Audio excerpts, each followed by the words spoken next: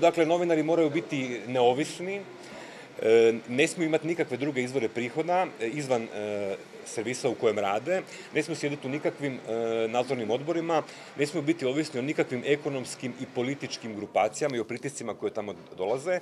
Uprava javnog servisa mora im osigurati to da svoj posao mogu raditi potpuno neovisno, znači da su dobro plaćeni, da se zna otkud su plaćeni i da svakog političara koji je upetlan ili u korupciju ili u kriminal ili u neki sukob interesa, da ga mogu bez problema javno prozvati.